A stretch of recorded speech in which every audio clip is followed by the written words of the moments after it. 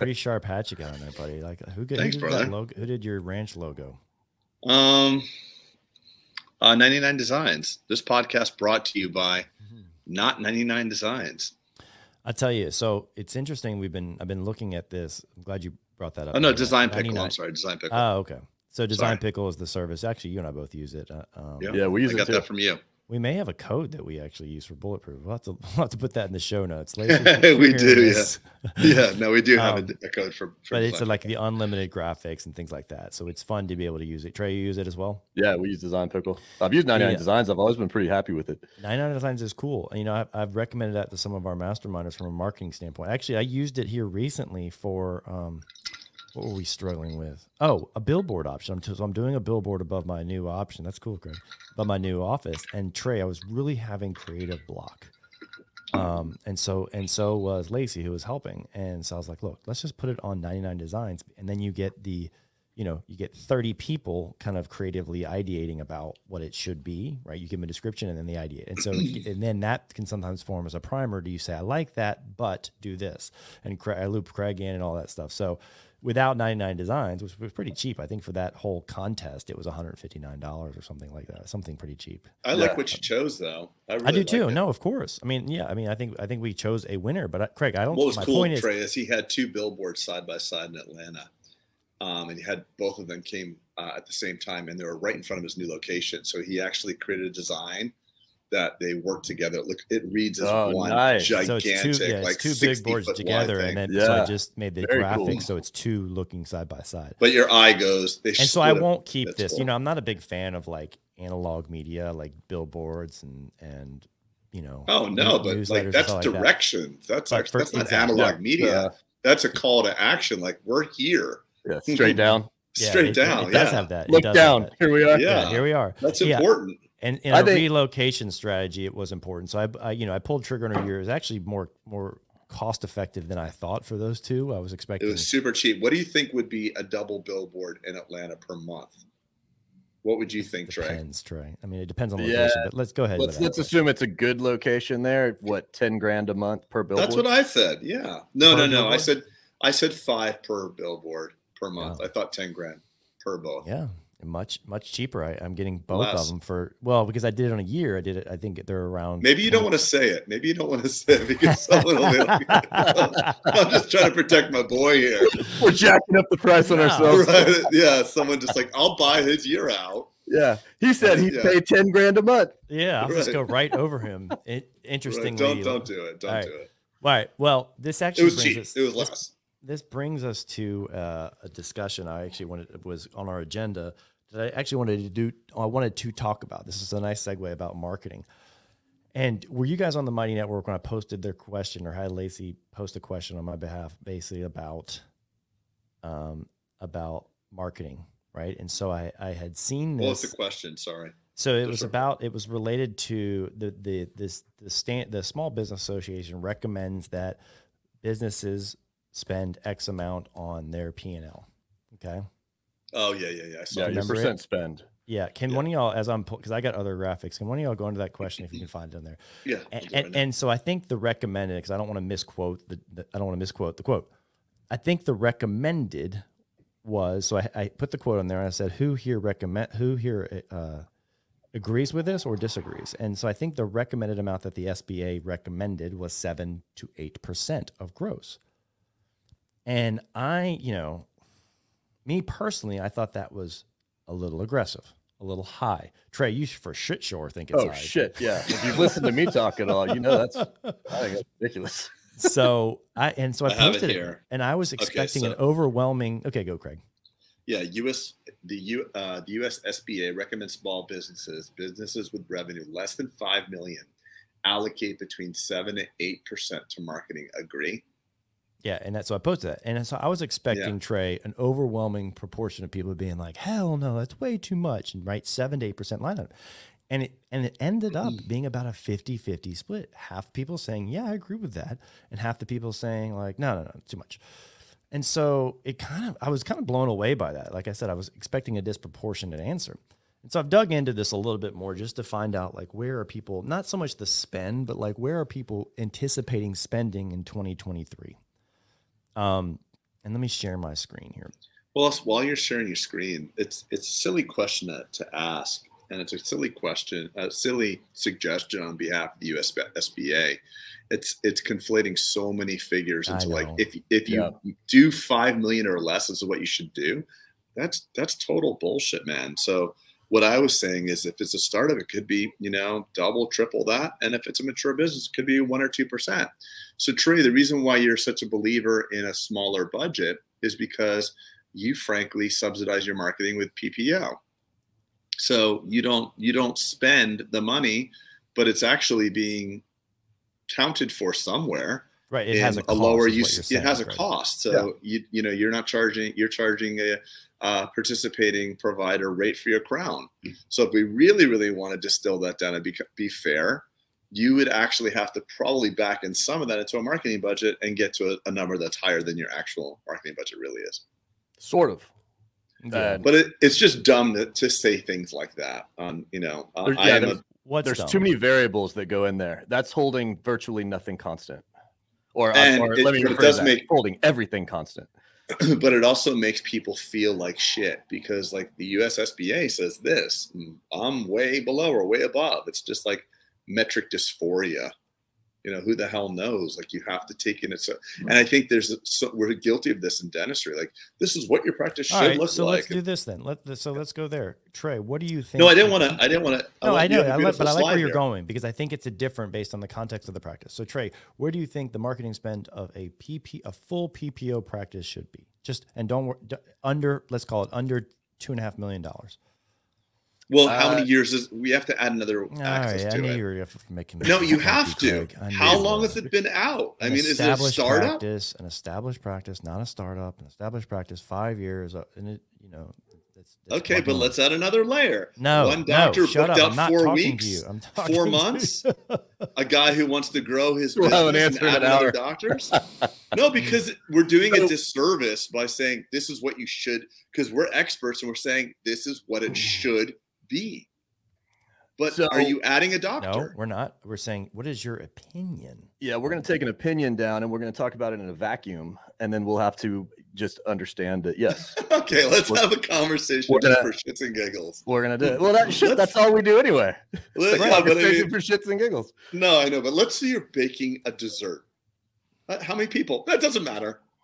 I, so I'll say this. I'll say how this. Many, in, in my head, I would say that a, a mature practice in a pretty good location in a let's say a metropolitan area that is you know under two and a half million, let's say, and let's say over let's say over a million. You know, you have you have momentum.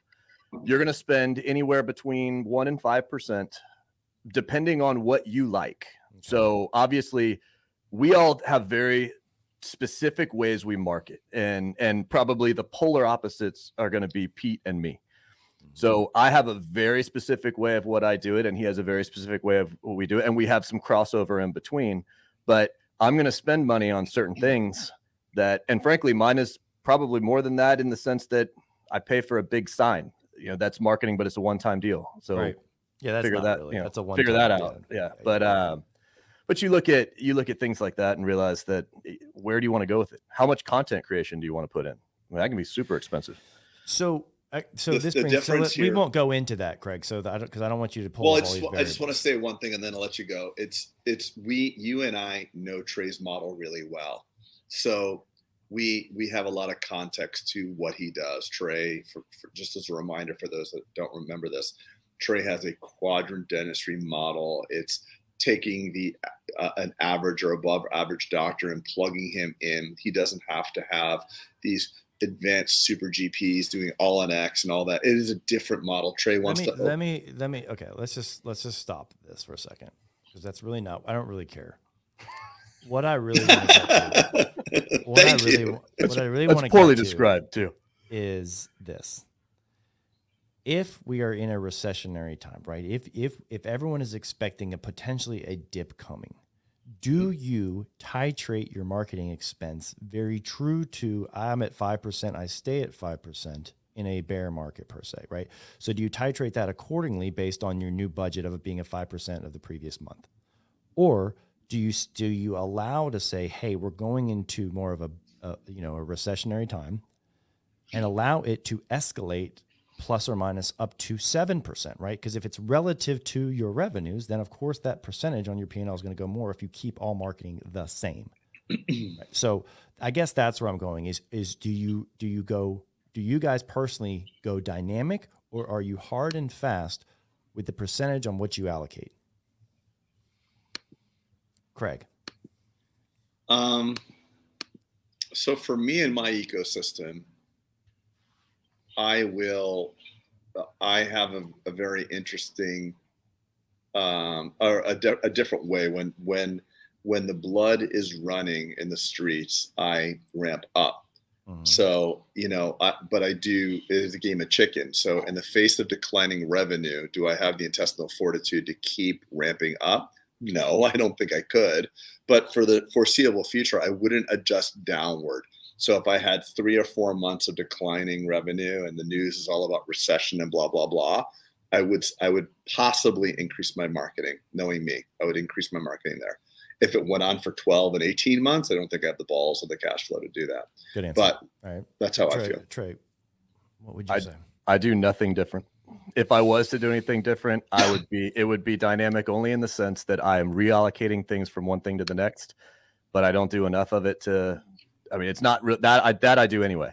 So I don't, and I will say this from the standpoint of a model, I don't, I don't look at this as declining revenue. We will increase in a recessionary time. You will increase. Correct. Well, to what point though? I mean, like 12 months of declining, 18 months of declining. I mean, forever. Okay. Well, you can't forever, but yes, uh, I, I like, I like your, well, yeah. So I can if I continue. So you have the Titanic approach. You're like basically playing the violin, and the as the Titanic's going down, you're like, oh. no need to pat, handing mimosas out. Yeah, uh, but you know, you're you're happy all the way down. No, you, so when you when you're dealing with and you know, Craig, you like the, the term quadrant dentistry. I don't. I like the term bread and butter dentistry. We're doing a need. We have a needs based approach. I know, but I hate quadrant dentistry. We actually don't do quadrant dentistry very much. We do single tooth dentistry. Wow. And okay, can we can we just agree to call it something other than bread and butter? you can make up a name and come and come to me. One, uh, one tooth dentistry. Crown one, crown one tooth month? dentistry. Yeah, we do we do slice of bread. It's just yeah. slice. You do FMRs. It just takes you 28 years to do it. Yeah, that's easy. Mrs. Jones, uh, you need to get an FMR. Let's, we'll start now. We'll end in 2050. So, when you have that type of model, the all the stuff that we do that you make a a full practice and model out of we don't that may disappear but that's not that's just icing on the top. So we every year over year we continue to rise in revenue because the needs do not change in a down market. Yeah. So from a marketing model. perspective no it's all the same. You keep doing no, the same a, thing you do. it's a brilliant model is what i'm saying. Like if any of us just like uh, Peter, you're going to jump all over this right now. But if if we were intellectually honest, we would all say that the easiest thing to scale and grow is what Trey has done. It's easiest to recruit talent. It's easiest to recruit dentistry. It's most recession proof. It's the reason why there's there's not too many DSOs that are made of high multi uh, uh, super GP models. You don't see many DSOs that are made up of like what Peter and I have built at ADS and SDG. So, Craig, I'm going to throw something that. at you just because it, it's always it's been mentioned to me a number of times. Um, this is where I don't stay quiet, but and not to steer us too far off topic, getting into models, but the argument I would make with you is if you threw one of the docs out of my model into yours, they would boom, and if you threw one of yours into ours, they would drown, because the level at which you have to perform and speed is is not something a super GP is comfortable with. Interesting. Go look so, at the so, level so, of, and I'll use our mastermind as an example. What at one point Pete asked, the, posed the question to everybody: How many hygienists can you do? And it was a unanimous across the board two, with me being the only person that says three. And and I would argue that three is the average. You're going to have guys that go beyond it, but in order to do that, you have to be phenomenal as a clinician to run through that process. So if I come in and tell you, here's your schedule, good luck. You mean a three to one ratio is what you're saying? a saying? three to one ratio, hygienist to doc. And, and that's just a single piece of it. But the idea becomes In order to perform at that level, your clinical skills have to be on point and you have to be a, you have to be a superstar. So I have to keep docs on the bench in training to get them to the level that allows me to plug them in to that that point to be able to com- to basically to perform at that level.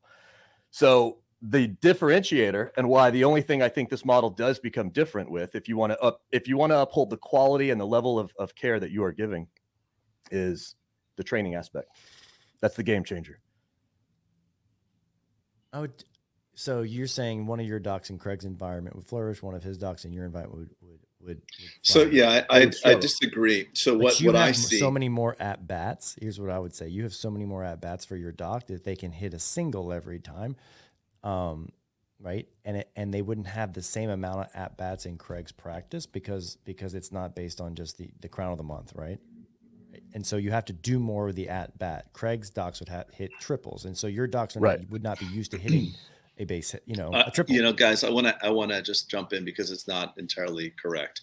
So we have a lot of doctors that would are just like Trey's doctors they're seeing you know three columns of hygiene. They don't do fmr they do you know as you would call single tooth dentistry bread and butter mm-hmm. dentistry. Mm-hmm. they don't do any of that stuff. They're insurance providers on three or four networks. They're hustling and they're doing 1.5 1.6 million. They do a little bit of invisalign because they're in my ecosystem and we, we do a lot of that. But they're not doing it all on x. They're not doing fmr they're not doing veneers. They don't do any of that.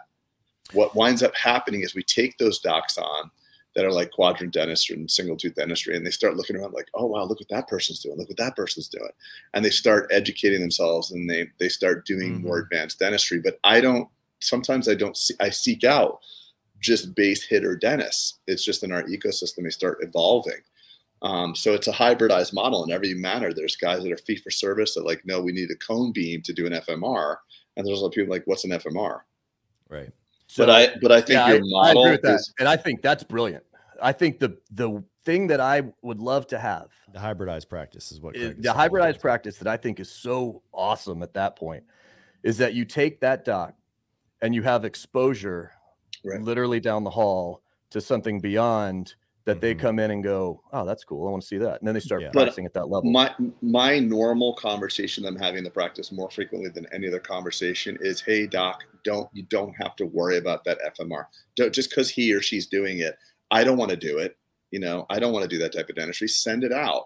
And then to the FMR doc, by the way, don't mess around with those three crowns in a row. If right. you're going to be doing an FMR, send it over there. Cross It's a cross referral. It's what's best for the patient.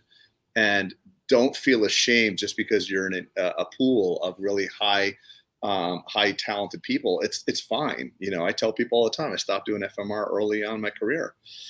It was not sure. worth it for me. So, and I would use different verbiage on that. Not not that you you. I don't say it like that. I don't. Yeah, it's the highly talented is all the way across the board. I no, I know. That's I know. just that's just preference. Yeah, I, I, was dumbing it down for the sake of what I say to you, but I, I tell people like, admittedly, it's not worth it's not worth your time. And, Let me go back to saying. where uh, my my point of, of this stuff of marketing. Kind of, well, yes, because it kind of started that way, and I, I think I gave. Yeah, we, we took a little U-turn the Mighty Network, and then yeah, we got into like right, it's different, and we brought in insurance and marketing spend and things like that. So I follow this guy who's who's got a pretty big marketing company, pretty big following. I think he's got one of the biggest marketing companies. His name's Neil Patel, and so he sends emails, and I think he, he aggregates a lot of data. And I thought this one was interesting, and I was like, this will be applicable for the pod as we talk. This is not the dentist Neil Patel, by the way. We have one of those. But basically, he has access and, and surveyed tons of companies and says, What is your SEO budget doing? And this is all in the context of if we are in a down year, what is your budget? Are you going to increase, maintain, or decrease? And so overwhelmingly, the response was, We're going to increase the SEO budget. Okay. So SEO is one is one aspect. What are you going to do with your organic social media budget in 2023? And it was pretty much split down there. It's just going to going to increase, maintain, or decrease, and they're all kind of tied. So I would say that that one's just a push. No one's really going to change much of anything. But the the majority of people were doing a decrease in organic social media for their budget. Okay. Can you explain for me and the listener that doesn't understand yeah. the, the differences between those two? What or SEO? So like SEO is going to de- increase. Okay, yeah. So okay, good. But good, the good organic, question. like meaning so SEO, creation, Craig, like, is how. What is your domain authority? How are you ranking in organic thing? When t- someone types in Delray implant dentist, how do you Right. show up in the one through ten? That's your organic, and that is built up by you building links and getting authoritative inbound links from people and having your site set up correctly from an SEO standpoint, meaning on page Yeah. SEO, having your pages structured right, having enough content, all these things, right? So that's SE, that's or that's called organic SEO. And and it is something that's probably not paid attention to enough, um, myself included, and I'll get there in a second. Um, organic social media, right, is now is now how well are you? How much are you playing into the TikToks and the Instagrams and the postings and the reels? oh, okay. I'm sorry. I missed. I wasn't listening to the difference. Okay, got it. Organic Okay. SEO So and now organic social. organic Yep. social media. And so most people, 42% said, I'm going to decrease probably my attention to that in 2023. The what are you doing with your content creation budget in 2023? So content creation is the thing that I alluded to in the first thing. So content creation is how many your article writing, your links, getting guest posting, things like that, making videos, um, articles, right? Expanding your website, things like that. That's content creation. That goes up. I can't read the red. That goes increasing it so- so by. it goes to but that's the most. dr- Eighty-three percent say they're going to increase that in this. So that was the most drastic move of everything you showed so far. Correct. Correct. And then, do you plan to invest in AI tools in 2023? And then 98% said yes. And so we talked, we had that pod, uh, you know, the last pod with Craig, you and I talked about it and kind of, anyway, That's a that's a very fascinating percentage. 98%. 98 of that level, yeah. That's- yeah, it. Cha- I mean, literally, awesome. the title of that pod was "It Changes Everything," and I truly, as I've even gone geekier since then and talked to more people who are in the know and this is their life, and, and, you know, it's it it changes. It really does change everything. Um, And I think for the better, but it um it really just it flips it flips a lot of industries on their head. Um, and then let's see. That was that's really the only thing that's. Oh, and then what are you doing with your podcast budget in 2023? So 92 percent are increasing it. so that that's really it. I'll take this screen off of it. Um, but I, guess it goes back to my question: is is do you remain do you remain consistent with your marketing, or do you ma- remain dynamic? In which capacity? Meaning, if your revenues go down, go down, do you mm. follow it with a with a let's say you set it up as a 5% of your P&L, do you follow it down as your revenue goes down potentially? And do you do the converse? Do you follow it up on the way up as well? Or do you just say we're burning the ships like Craig gave the the answer to, right?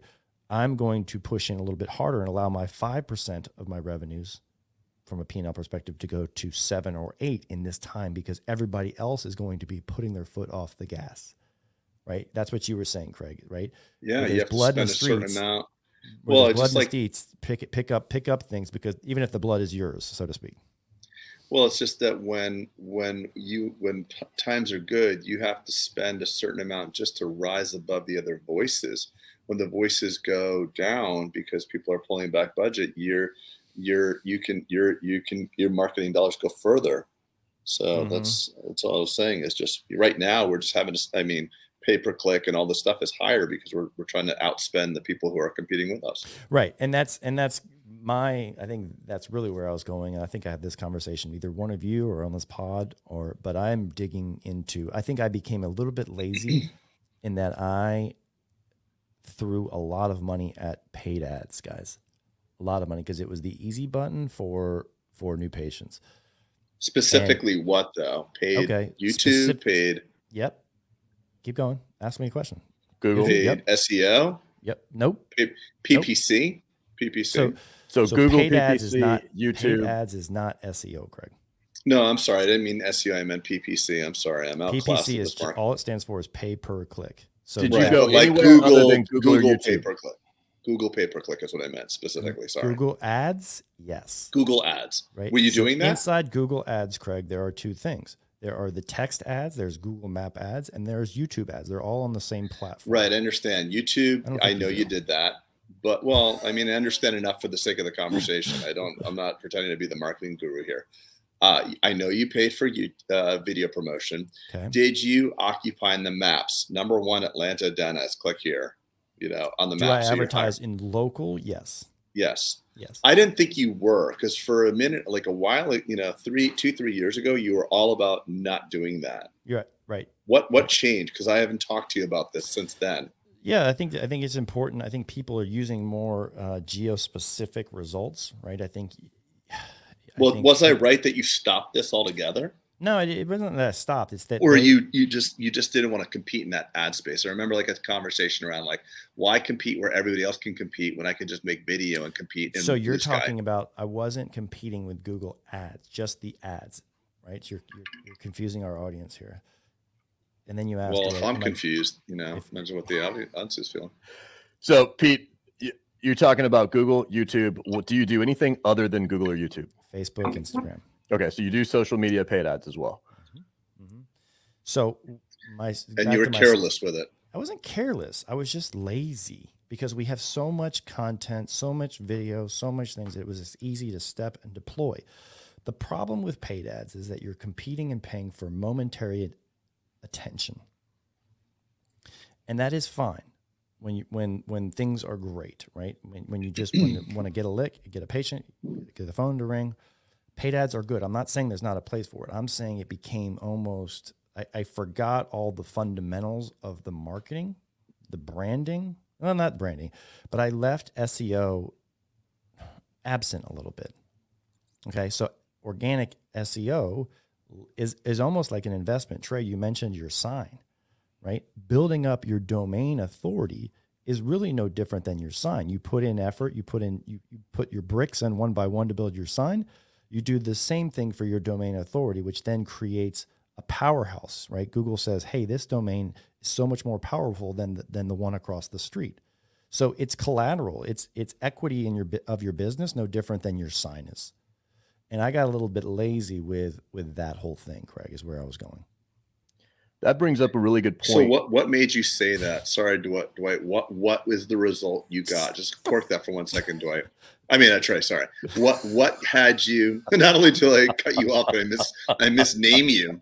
You in the red hat. You, you no, guy. What? Hey, why? You. Why did you say that though, Peter? Why did you? What? What realization have you had that well, got you to the place where you're like, okay, I, I, this mea culpa. What, what is it? It was it was just it was just it needs to be what I was reminded of, Craig, is that the easy button never yields long-standing results. So what are you seeing? You're seeing it. You're seeing money being spent and no, I'm seeing, not no, the same level of patient. Yes, I'm saying that the spend is going up and potential right. and right now currently new patients are are trending in a different direction. Not drastically but they're not right. trending the way they were 12 months ago. Yeah the roi right? is changing. The roi is Got changing. Okay. and so okay. so in hard times when winter is coming it's nice to rely back on free content creation right? Looking at stuff like where's traffic coming on? Because all at the end of the day it's just traffic and eyeballs. And you're, either you pay for it or you put in the hard work to get it free. So this is where I was going with that because that that kind of furthers the whole point that I was about to make is your digital footprint should match your your actual physical footprint. Your user experience online should match the user experience when they walk in your door. Correct. And we all get the easy button happens to all of us. We all start to coast and we start to not pay attention to where the money is spent. The hard part is to create your patient experience in your in your retail space. They walk in the door, how do they experience it? How is the the the the whole experience from start to finish, including phone calls, marketing, all that. But there's digital real estate as well. So your Google ad, if nothing else, even if it's never clicked, you own a piece of that real estate on the digital page. So you want to own the digital stuff. You want Not to have necessarily. a you don't own it. it. It's just it's very you own it temporarily. He's saying he's saying you have yeah. that real so, estate. It's yeah, it yeah. goes back to what you said. eyeballs. You're yes. looking at eyeballs, which you're you're creating name recognition because although okay. they may not click on it, they Fair. saw it. Yeah, and it is and, a temporary that specific case is a temporary one. it goes so back to even your website. Impression. So when you're looking at everyone here who's listening, when you're looking at your analytics and your ad platforms and you see the word impression, that's what Trey's referring to. Someone sees your ad, they may not have clicked on it, but it's still this psychological branding. So impressions are good right? Because they'd cost zero dollars in a paid scenario. They cost you zero. You don't get you don't get charged until you click on it. and it's still kind of some kind of this uh, branding. So Trey, I agree. I agree with that. I agree. That's that's uh it's a nice halo effect, as Craig would say. Yeah, they mimic each other, and you should work mm-hmm. on both. But to work on both is difficult, and therefore you start. Oh my god, coast. dude! I'm telling you. So like that's what I'm saying is that I months ago, just about six months ago, I was beating my chest, being like, I'm at 1.5 percent, you know, uh, P and L from marketing percent, and we're getting over 350 new patients a month, kind of thing. And, and it's like, look at me, I'm the marketing genius.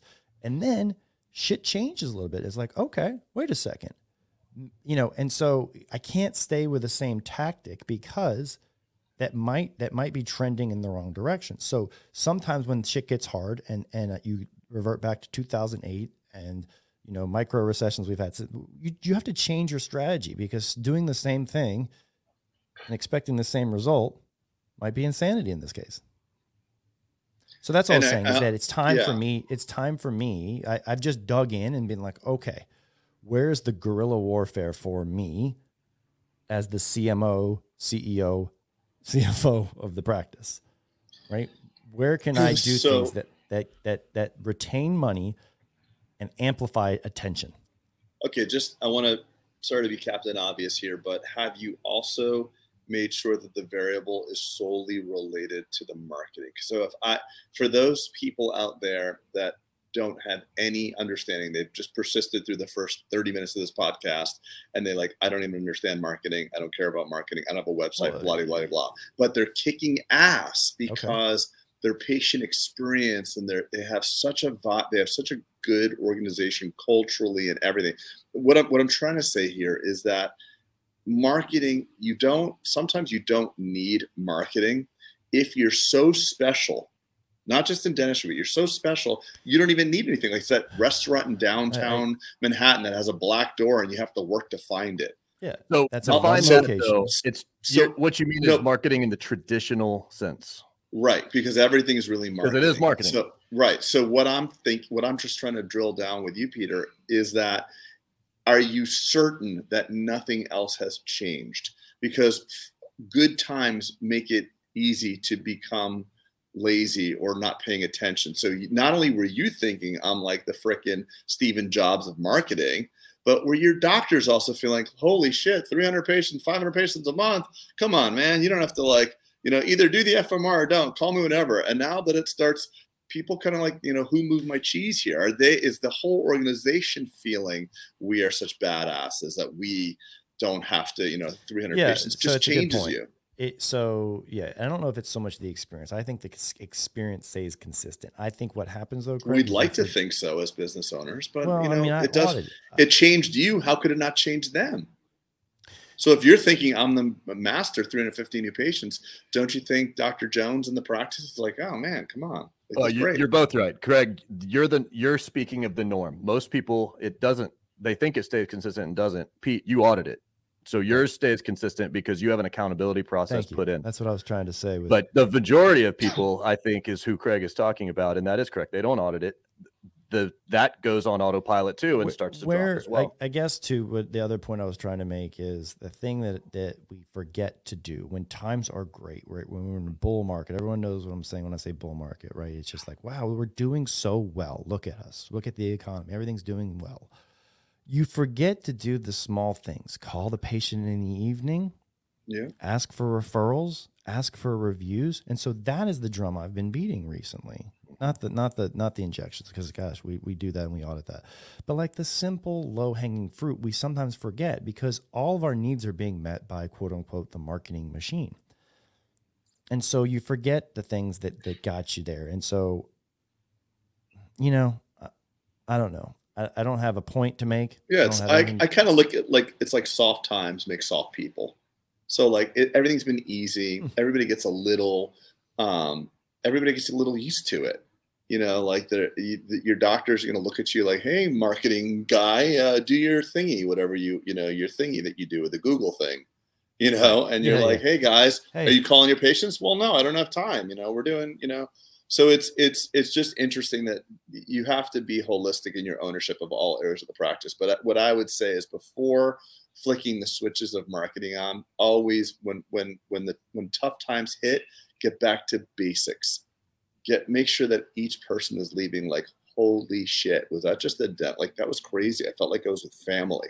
If you don't have that walking out every single day, you're going to be spending shit tons of money, disappointing more people. Like pay attention to Google reviews. Some of them are douchebags, some of them might actually be bringing up a good process. When people give you feedback, thank them. Ask ask your friends that patronize your practice and say, "Hey, is there anything that you could suggest that we could do better?" And say thank you and learn just because you know things are I changing. Mean, honestly, Craig, it's really what it what it has forced me to do too is not just a marketing thing, and it's forced me like we had a we had our book club inside the Bulletproof Mastermind right recently, right? We went over a book, and book club's probably like sounds a little nerdy, but. but we all chose to like pick up. It was right after the Tupperware party. It was really fun, actually. so fun, so fun. The yeah. By the way, Trey, the fruitcake recipe you shared was to die for. Trey. Phenomenal, wasn't white, it? Phenomenal. for bringing the I White. Zinfandel Trey. I know. The Bartles and Jaymes, I loved it. Yeah, beautiful. Um, beautiful. All right, so we had we had we had a you know we picked a book called Traction by by uh Gino. by we Peter. what? I said no, by I, we. I did not. Here's the book we. No, you didn't reckon. You didn't. Come on. This is what we're doing. You. This is what we're doing. But I politely say we. no, I'm kidding. It was it's a great attraction. Go ahead. I don't want to steal your thunder. Go ahead. Heaven forbid I actually do something and lean into the ecosystem. Yeah, you get shit for it. Heaven forbid. It's you for caring. I mean, uh, Craig, my coattails are getting so heavy. Can you can you jump off? All right, listen. Don't make me drop another PBD DM on you. um, all right. So listen. So what it's forced me to do too. So looking at that retrospect, you know, being being retrospective where you're positioned, saying, "Gosh, I've been a little lazy," looking at all these things, and then going through the traction inside the traction by Gino. Uh, what's what is his last name? Gino Wickman. Wickman. Thank you. You know, because I discovered this at one of the YPO seminars. Everyone was like, "It's the greatest book ever." So I brought it to our mastermind. We kind of discussed it, and and obviously we all read it, and then came to a Zoom room one night and started just chatting. And what was funny is we all came to the same conclusion. We were like, dude, this is really just the bulletproof pathway, but just condensed a lot more. And so what it reminded me of is like sometimes we just forget the small basic stuff, right? The the the steps that you go, you forget the little things that that are that are accretive to the master new patients, if you want, or the master revenues. You forget all the things in the bull market. So I went back and revisited, and I was like, God, the pathway is so much better than even what Traction is recommending for the entrepreneurial operating system. And so it was just, it was a nice, it was a nice uh, confirmation for for for the curriculum which, which we go through, but also just like that we're we're beating the right drum. And and if the if the best selling books, if people who are in the YPO world are saying this is the greatest book ever, then isn't that cool that we're kind of tracking the same way in a dental standpoint? I guess was my thing. But it reminded me to kind of look at it and be like, oh yeah, kind of like not so good in that referral department. Probably not asking for as much as we should. And you know, and where's our where's our retention activating system? How are we activating? How are we? I'm sorry, uh, uh, inactive. How are we activating new? Uh, how are we activating inactive patients? Thank you. Reactivating. Things like that. Reactivate. Yeah. Thank you. I just wanted to see you struggle with that. Well, I was going on a little monologue, and you guys are flustering me because you both feel like feel like you're both against me right now. Because uh, oh, no, we're just, we're just We love you. Yeah, we love you. Um, no, it so, is true. It is a good confirmation of, um, and I, what I like about I, I read it a long time ago, but it it does point to the idea of at least what I gleaned from it was having accountable people to cover your weaknesses as well. You know, like having like yeah. people that can backfill into your organization. You mean you're saying uh, yeah, and that actually you're right, Craig. That was pretty much the the thesis of the book was having the right person on the right seat of your bus. Right. And that was that was like 50%. That's 50% of the book. And then holding them accountable to what they can, can do, so to speak. Right. But you are right. That yeah. that was a big portion. I said, man, like, you know, when we talk about culture index, like that really has helped help confirm by data is the right person here. Right. So I think that book is great because it brings up the fact that it, it's a system. You need a system. All it does is define the system. And there are a million books that define systems. The uh, what's that other four pillars book? That's another one that's similar. Mm-hmm. Um, yep. There's a million of them. They're operating systems, and it, the the better companies that continue to grow have an operating system. They have a they have an outline. They have a bulletproof pathway that they stick to and follow. And when you have that system, whatever it may be, it's like a diet. What diet works? The one you use. All of yeah, them yeah, get yeah, you there. So don't worry about which one's better. Just pick one and go with it, and you'll improve and you'll do great. And I think that's a huge positive that people get get lost on. And to, to apply that to the marketing aspect, we spend so much time talking about what marketing is and how Pete does it, or mm-hmm. how Craig does it, or how I do it, how Dwight does it. And they're all different, but they all work. And I think one of the big things that you have to focus on, especially as you have what seems to be coming down the pipe from an economy uh, standpoint, is you need to set metrics that you're trying to achieve. So we talk about, oh, we want to have a good this, good content creation, pay per click ads. This is what we're doing. But what's your goal? I mean, if your goal is, and, and I'll use ours as an example, I want 40 new patients per doc. And if I'm hitting it, mm-hmm. then I, if I stop hitting it or I see a decline, I'm pulling the, the easy button, the easy levers first. It's are we calling the patients? Are we, you know, well, I'm gonna I'm gonna audit the the actual. If you stop hitting that, you're saying you go yeah. back and audit. So you are always dynamic in that sense. Yeah, yeah, but and the point I'm trying to make there is you need to have a metric you're shooting for, because if you're just randomly doing it, and and Greg, you mentioned the Titanic, just keep going up forever. That's a good way to be a prob be problematic is set a goal and try to achieve it. And don't just go, we need more. More for right. the sake of more is not good. And marketing has an end game to it. And you need to define the end game and then you need to go get it. And then pull the easy button uh, or pull the easy levers you can pull first up to you know whatever else those could be hard if you don't know how to use pay per click don't do it first That's do well something said. you know how to control first well said trey very well said. All those things are really valid. And every single time I've met an amazing, iconic company, there's always an iconic founder somewhere.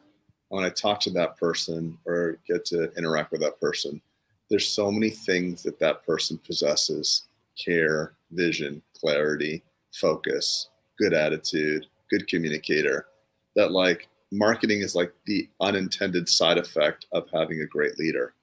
And I think that there's a lot of um, mm-hmm. in the consulting world, you know, I, I, think in the consulting world, there's a lot of people that will give you and sell you the five easy steps of the marketing, and you you have to do it all. And the hardest thing is to be that leader first and foremost. So for those, because I and I get I get a lot, you know, maybe it's just the way my brain works, but when I talk to somebody and they're talking about a very tactical question about marketing, when I start drilling it down, because I'm I'm asking them some active questions, I'm like, oh shit, they actually don't need as much marketing as they do clarity, um, and they're just disguising it as a marketing question. You know, what where are you trying to go? Are you trying to hire? So, well, I don't really know. I'm not sure. Maybe I think that yeah, I could want to do that. I'm like, oh shit. So the three of us are in our own echo chamber with like laser focused vision of where we want to go. I know I know exactly what would make Peter happy, what would make Trey, with Dwight. We know exactly where we're going. But when we talk to the to the average dentist out there, they don't have that. We see that with our mastermind. We really do. And we're doing, you know, so I think that's, you know, not to say that the marketing is not important. It's paramount. It's paramount. But directionally, where you going is the most important thing. And I think that we don't think of that. We don't even think of us as business owners, by and large, the average dentist. You ever meet those people who like you ask them a question and they say, "Well, it dep- everything is it depends. It depends. Yeah, depends on what." I don't know. Just yeah. no, I, I I have those conversations. Those I, think there's I think there's one on this call. I think there's one on this call. well, because it's not it's not one size it depends. Like you didn't look at the human you didn't look at their vision you didn't look at their marketing you didn't look at it you didn't ask them if their pet shit on the carpet today. Everything depends. Well doesn't and, it? and it does. That's correct. Doesn't it? In the end absolutely. Yeah but for the sake of conversation when you're sitting here trying to give well no i mean this is takeaways for on a podcast this is, is, a nice tangible somehow... this is a tangible takeaway. Got it. It's saying to those people that you know like i, I remember a conversation um, that we had right before stage uh, in nashville on summit at summit. We had that really renowned dental speaker who will remain nameless. Don't fill in his or her name please. And he says to me you know it's interesting. You talk about business being stressful my business never stressed me out before a day in my life i was like bro and I guess I just narrowed down to sex now. I was like, you don't have a business. You're a dentist. That's what you do. Why would it stress you out? You worry that you're not going to be able to do the crown right after 23 years? Have 20 people doing crowns that you don't even get to talk to. That's a different level. It's a different magnitude. So it's like even the business consultant doesn't own a business. And I'm not throwing shade. I'm just saying, don't speak to that. It's like saying, the NBA doesn't stress me out. You've never played an NBA game. That would stress the hell out of us right now. So it's I, I think that we're just we're you know we're not being real. And I think it's important to just figure out what do you want to do, what are you doing, and then market to what you want. Not to say, well, Trey does that, so I should do that too. Because well, you know what? To that, it's not to that effect. Yes. You read biographies and you take things from people you you see people you admire whether they be you know you read a book on you know sure. thomas jefferson yeah. and you you yeah. see these pieces of his life in that biography it's you you model yourself after and to some extent when you're sitting here with a microphone and, and you're answering a question you do have to answer it exactly how you do it because what you're doing is telling them this is what i do and it works for me but then giving them the ability yeah, you're to not say giving global you know advice. what i like that but i don't like that it's I'm going to take this from Pete, I'm going to take this from Craig, and I'm going to take this from Trey. So you're you're kind of giving a little bit of a footprint of of these are possible. Now you choose. Now to choose your own adventure, which were great books. By yeah, yeah, I remember them well. They were fun. Um, that was that's a good point, Trey. Yeah, I, I think we read and we educate ourselves to so we can compare and contrast with how we would react in that situation. Right. That's the stories we that are that we that we listen to or the movies or even the education, right? You compare and contrast with what's deficient in my life, what do I need to augment, where do I need to, to adjust, where I know, you know, and um, you know, that's why like reading is such a like I was actually looking at Patrick Bet-Davids. He just posted a new video on like the five books he's going to be reading this year, right in 2023, and I was kind of shocked by them actually because some were were stories. Like it's one was on an Onassis, right? The story of Jackie Onassis and the Kennedys and all that stuff, and, and I was like, yeah. how's this business? And then, but it, but he kind of explained how it was. So, um, you know, YouTube is more like my, you know, I'm not a big novel reader. I think I am more of a consumer of, of, of the how to's on YouTube, if you couldn't tell. Right. I educate myself just by watching videos. Um, but it's really just to kind of, just to kind of apply to life. No different than reading. No different than reading. Right.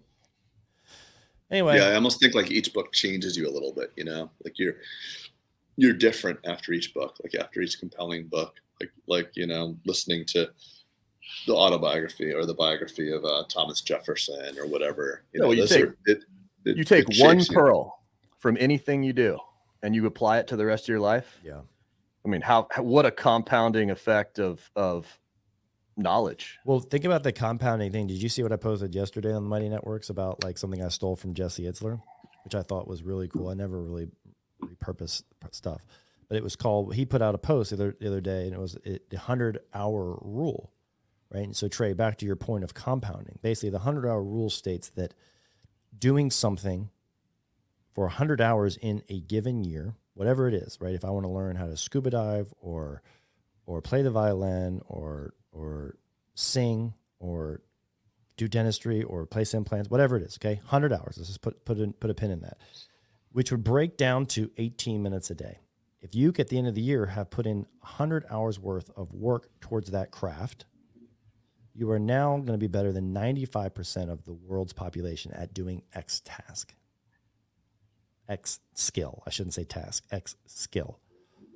And I was like, yeah, that, you know, 100 hours seems like, damn, that's a lot of time. 18 minutes a day? Man, that's pretty easy, you know? Yeah. And so back to your point of compounding is it is I thought that was a very interesting way of just breaking the eating the elephant microbytes. And at the end of the year, looking back and saying, damn, I am now like, so if you're a shitty marketer and you're like, I, I know, I'm like, I know nothing about Google Ads, what you were saying. Guess what? In 18 minutes a day, you'd be a better marketer than 95% of people if you just watch YouTube, start digging in, doing that, right? If you're a shitty business lead, if you're a shitty leader, right? Fix the things that you know you're bad at, is where I'm going. And you can do that in 18 minutes a day and now become superior not not inferior, but superior to 95% of the population. And it also makes you happy too, because the progress. Yeah, because you're solving problems, Craig. Like you said, yeah. is, not isn't isn't happiness? You know, you, yep. you push on this. Happiness is so much on solving solving problems things and quality better quality problems. yes, that's the bet that that's the quest is having better quality problems to solve. But we humans are most happiest when they are solving things. Um, and that is hard, honestly. I, I get so much great, great happiness in being the answer guy, as you all know, trying to be that, or at least at least fronting as that. And I have a hard time just shutting my mouth and letting the answers come out in the room. I have a hard time. That's probably one of my one of my deficits in leadership is that I give the answer.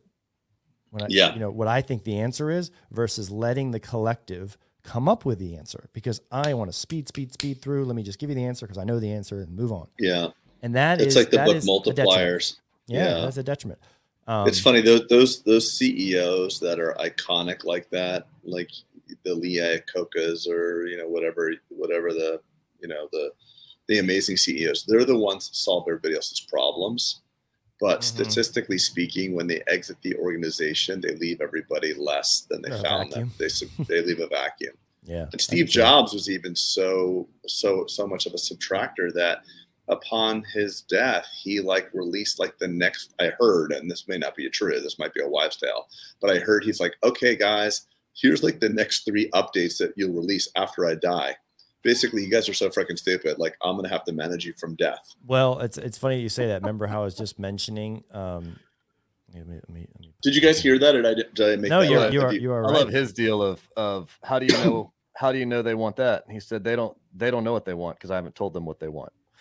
Well, I mean, Henry Ford was saying that. About, yeah, you're talking Henry about Ford ego more than anything. This was no, no. That's but it that's also drives success. It drives Henry, success. Henry Ford said, "If I would have listened to the population, I would have built a faster horse." And to some extent, they are right. People don't know what they want until you give it to them.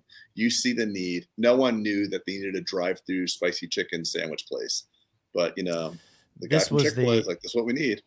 Craig, so you said like you gave this Steve Jobs example, and I'm, I'm, throwing this back up on the screen because that was actually one of Patrick Bet-David's recommendations was called After Steve. How Apple became a trillion dollar company and lost its soul after Jobs, right? So right. it, yeah, so it, that right. was that was that was one of the books. I don't know. Right, but it's it is one of the things that was the hardest lesson for me to learn, and the thing that I'm most grateful for learning it is to allow people the space to grow into. And if you're the smartest person and you're you get all the answers you will actually make everyone around you really dumb.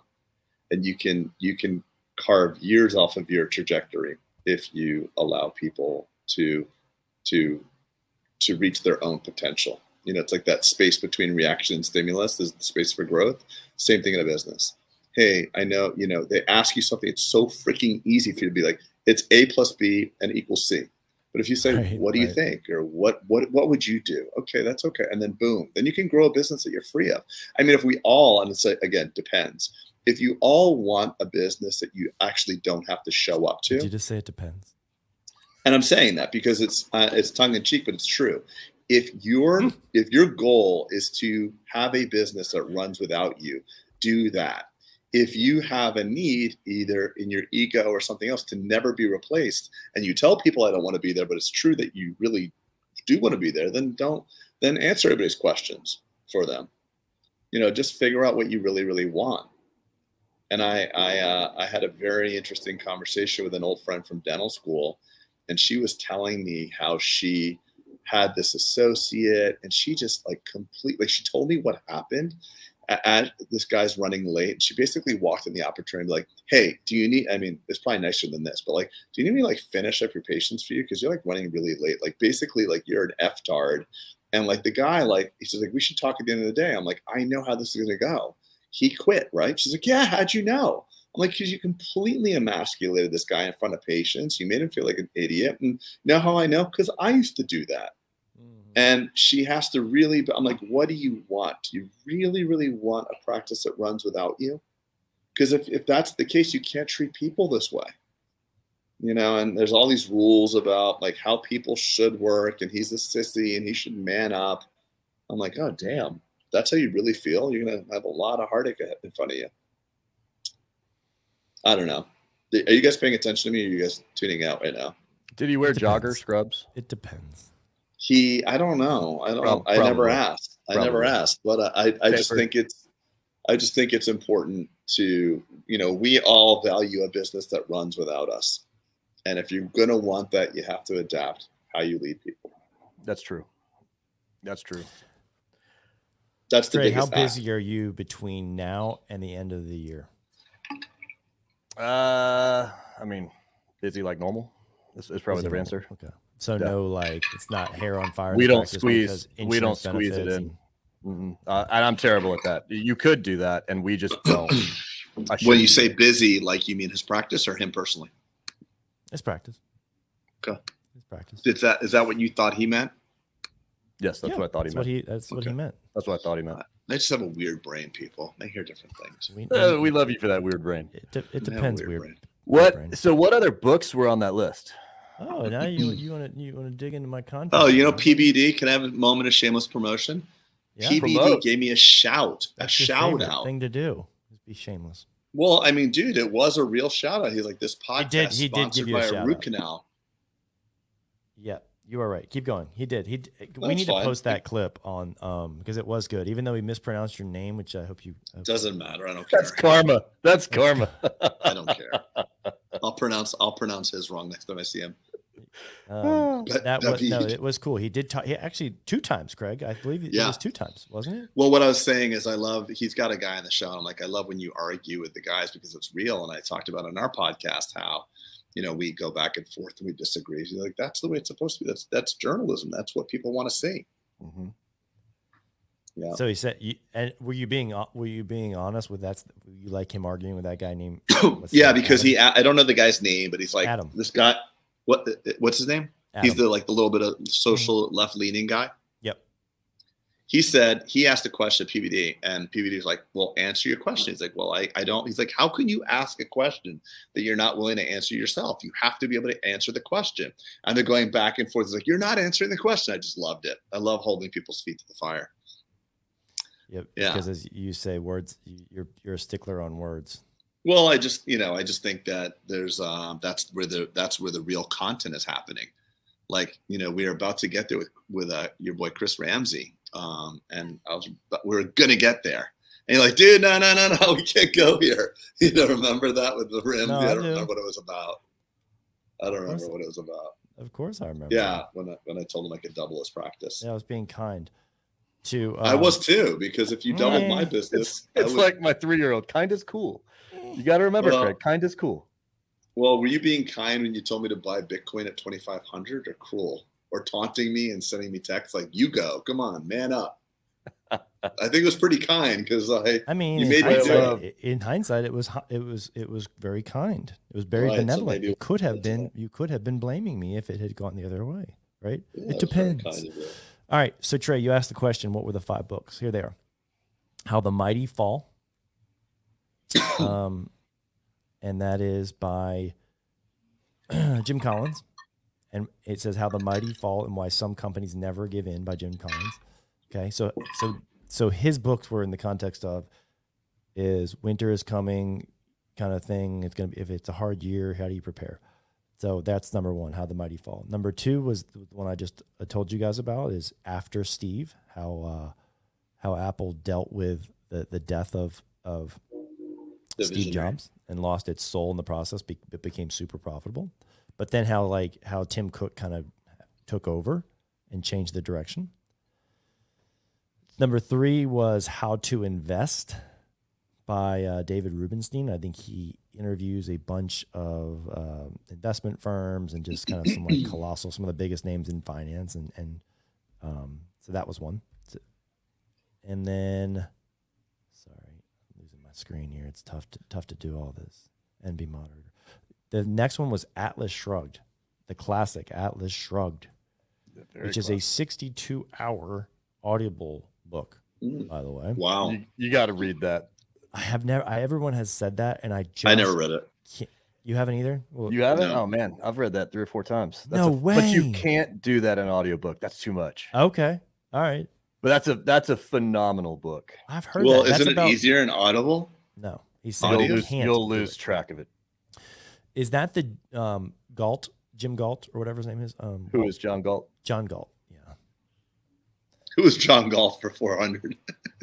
I um, caught that little Jeopardy. What what? Well, give me the cliff notes. What's it and, about? And then hold on, let me let me finish. Then you go back to this. And then the last one was Onassis, like I told you, and that's um, that's the story of.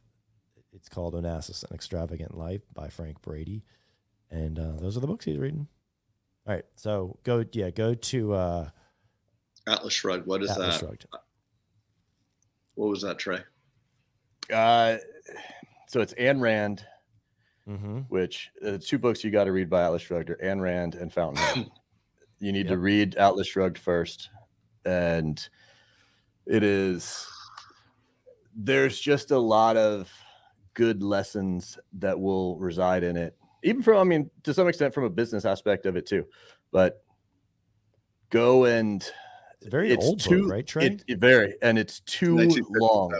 It's way too long to go and I, you know i mean if you're an audible person go for it but it's a it is definitely a book that has a lot of ins and outs to it. A lot of people there's a lot of good character development there's a lot of great story to it and there's a lot of good lessons. Read the book i think you, will get more out of it fountainhead's cool it's a little bit it's it's different it has a little bit craig you would actually like that there's a lot of there's a lot of architecture stuff in there um, but those two i would say are, are just great books to read just from the standpoint of it even if just a good story if you just ignore all the rest of it that's good all right, guys, it, we're right at an hour. I think I'm. Uh, I think I've reached my cap with you guys today. That's enough. That's enough. Another one hour, whether you need it or not. Trey, Trey, what do you got going on for holidays, buddy? I want to ask you real quick. Just sending me some. Uh, some Man, I'm having. Some I'm having a little girl. Yeah. Well, that's right. When's the due date? The 28th. Wow. So awesome. I got a. I got quite the Christmas present coming. Wow. Yeah, so, to, so if you were asking personally, are you busier? My answer is not yet, but I'm about. To. Yeah, you will be. be. Yeah, you will be. Peter, you traveling enough for the holidays?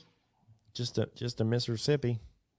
Yeah, Philadelphia. You know, Greg, I actually I actually made the mistake. I actually booked travel for next Christmas and next Thanksgiving because I regretted you know, travel you almost have to look at kind of a year in advance, I think, when you're doing things. and so I was like, you know, this would have been a great time to take a nice little vacation with my my family. Sometimes we, you know, when they get out of school, I start looking around like, and you become, you know, in my house, I be I am the playmate for some reason. Like when oh, I was yeah. going, and so they look at me like, Dad, what are, we, what are we doing today? I'm like, well, I'm working. I don't know about what y'all are doing, but like, and then they guilt me into like, well, can you come home at like one, two, or this? can we go this?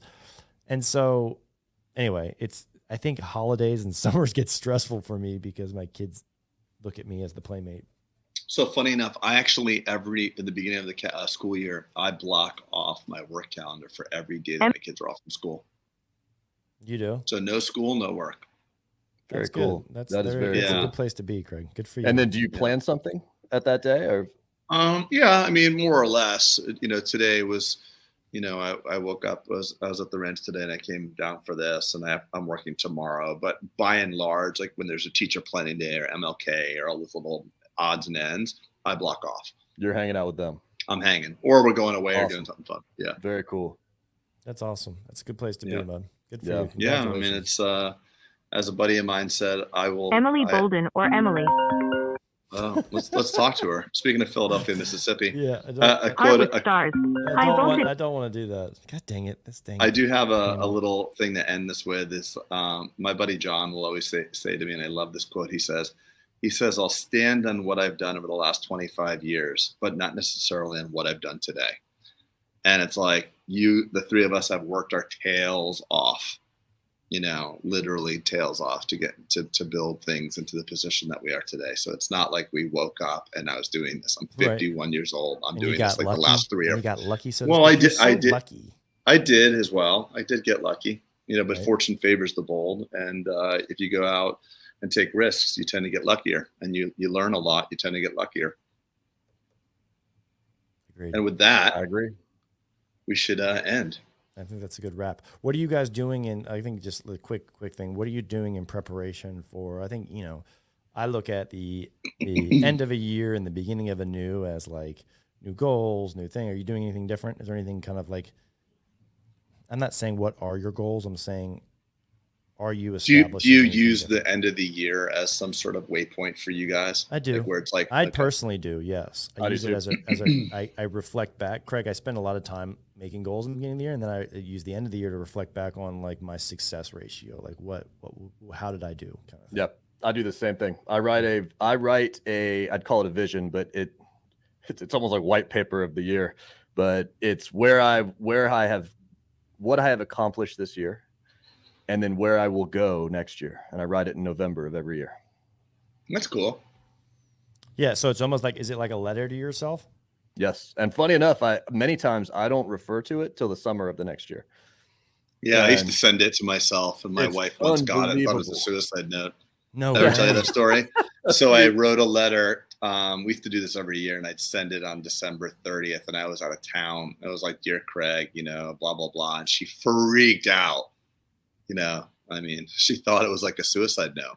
She'd blown up your phone because of the yeah, she was blowing me up. I'm like, yeah, it was kind of crazy. Yeah. But it was like it was written in the first person. Like, I'm really proud that you did this and you did that. We did this, and she started getting into it. She's like, holy shit. She called me immediately. Like she was like, Craig, what thing. is this nonsense you've written? So she opened no. your mail, read your letter. well, it was it was addressed to me from me. So it was Craig to from Craig to Craig. It was like, you know, we just did that for the entire office. Like, yeah, what would gotcha. be cool if I'm December? Like, look. So it was in the first of the year. What did you accomplish over this last year? And and writing it why you were proud and what you were able to do. But she Very freaked cool. out. Yeah. little, little drama. December thirty first drama. yeah, exactly. I mean, it is unfortunate the holidays are a time when people uh, do take those types of uh, they start going in those directions. I had a personal thing, like a person that just uh, attempted suicide, and my one of my good friends is uh, niece just did it. It's like crazy right now. I mean, I, what is it about this time of year that causes that? Is there, you know? But it is. It does feel like that's when this seems to happen. More. Holidays.